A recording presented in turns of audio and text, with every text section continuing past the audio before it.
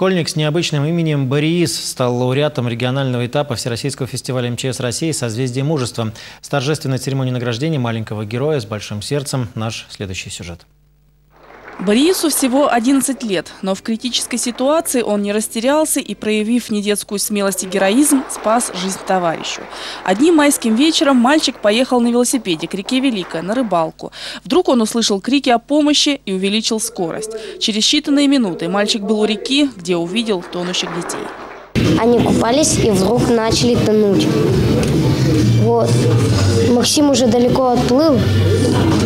Ой, Никита. И, а Вова был вблизи. Я к нему подошел и смог вытащить на себе. Там было глубоко и холодно.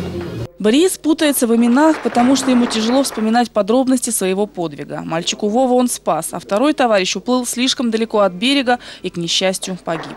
Далеко-то ходить не надо. У нас на нашей земле, на Кировской земле за этот год совершено много хорошего, благородного, достойного.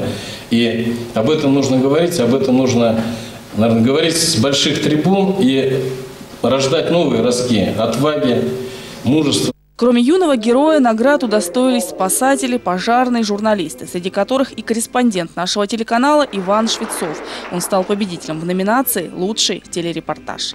Вергина Матевосян, Иван Швецов, Вячеслав Голиков. Вести. Киров.